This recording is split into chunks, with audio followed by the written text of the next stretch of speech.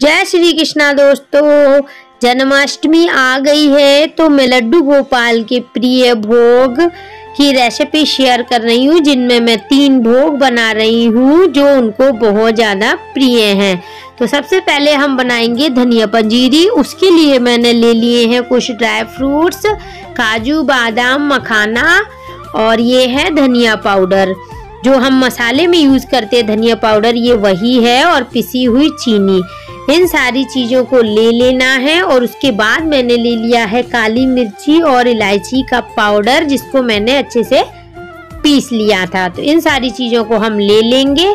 फिर उसके बाद मैंने रख लिया एक कढ़ाई और मैं पहले करूँगी ड्राई फ्रूट्स को फ्राई। तो जो तीन प्रकार का भोग हम बना रहे हैं, तीनों रेसिपी में हमारे ड्राई फ्रूट्स हो जाएँगे। तो मैं इकट्ठे ही उनको फ्राई कर लूँगी। तो ड्राई फ्रूट्स घी में अच्छे से फ्राई हो गए हैं। तो उसके बाद इसमें मैं डाल दूँगी जो हमने मखाने लिए थे, वो। तो मखाने घी को बहुत जल्दी पी लेते हैं तो आपको जितना घी डालना हो आप डाल लें तो आप देखिए कितना घी था, जरा से मखाने पूरा घी पी गए। मैंने मखानों को निकाल दिया है तो उसमें थोड़ा सा घी और मैं ऐड कर दूँगी, और उसमें डाल दूँगी धनिया पाउडर। धनिया पाउडर बहुत ही अच्छी क्वालिटी का होना चाहिए तभी हमारी जो धनिया पंजीरी है, वो बहुत ज़्यादा स्वादिष्ट बनेगी। इसको धीमी धीमी आँच पर हमको भूनते रहना है, जब तक कि कलर चेंज ना हो जाए और बहुत अच्छी सी खुशबू ना आने लगे। तो देखिए, पंजीरी के लिए धनिया पाउडर हमारा बहुत अच्छे से सीख गया है और आप देख सकते हैं, कलर भी चेंज हो गया है। तो इसको रख देते हैं हम ठंडा करने के लिए। उसी कढ़ाई में मैंने और घी डाल दिया है। तो हम दूसरी पंजीरी की तैयारी कर रहे हैं। तो घी में मैंने डाल दिया एक कटोरी गेहूँ का आटा और आटे को भी हम बहुत अच्छे से भूनते रहेंगे जब तक कि अच्छा सा कलर ना आ जाए। तो मैं आज तीन तरह का भोग प्रसाद लड्डू गोपाल के लिए बना रही हूँ, जो उनको बहुत ज़्यादा प्रिय है। तो देखिए, आटे का कलर चेंज हो गया है तो इसी जगह पर हम गैस की फ्लेम को कर देंगे बंद और आटे को रख देते हैं। ठंडा होने के लिए। जब तक गेहूँ का आटा ठंडा हो रहा है, हम बना लेते हैं धनिया पंजीरी।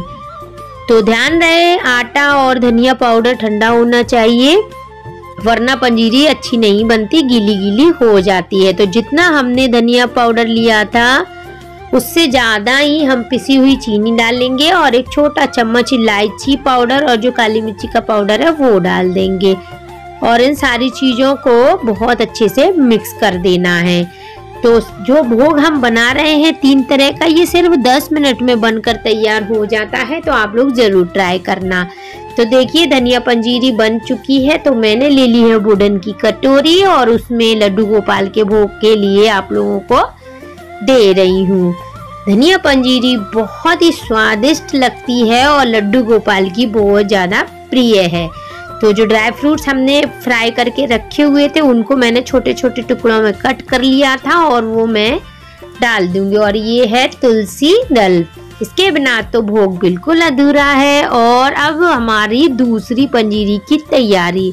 तो ये जो आटा है, इसमें मैं डाल दूँगी पिसी हुई चीनी। और ये चीनी आप अपने अकॉर्डिंग जैसा मीठा लड्डू गोपाल को खिलाना चाहते हैं, उस अकॉर्डिंग आप चीनी इसमें ऐड कर दें और इसको भी बहुत अच्छे से मिक्स कर दें। तो चीनी हमारी मिक्स हो गई है तो एक और मैंने वुडन की कटोरी ले ली है लड्डू गोपाल के लिए।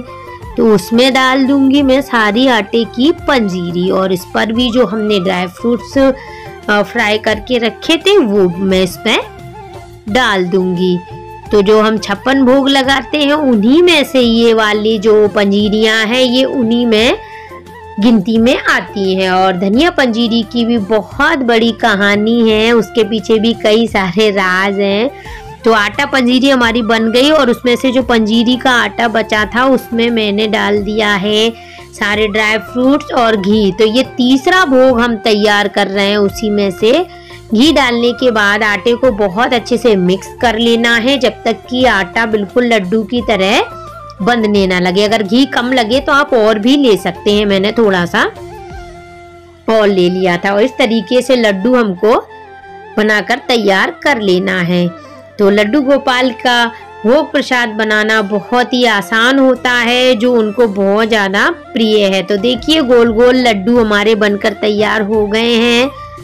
तो मैं आप लोगों के सामने तीनों भोग प्रसाद तैयार कर ली हूँ। धनिया पंजीरी, आटा पंजीरी और ये हैं आटा पंजीरी के लड्डू, ड्राई फ्रूट्स वाले। तो मैं आप लोगों से आज तीन तरह के भोग की रेसिपी शेयर कर रही हूँ। मैं आप लोगों के लिए और भी भोग प्रसाद की रेसिपी शेयर करूँगी। अगर आप लोग मेरे चैनल पर नए हैं तो सब्सक्राइब ज़रूर कर लीजिए।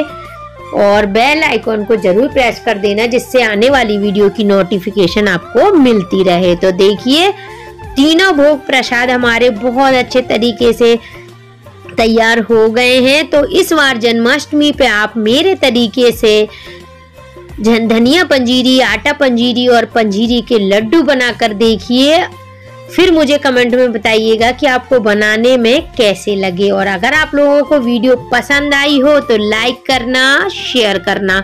और चैनल पर नए हैं तो सब्सक्राइब करना तो बिल्कुल मत भूलना। तो मिलती हूँ किसी अलग भोग प्रसाद के साथ।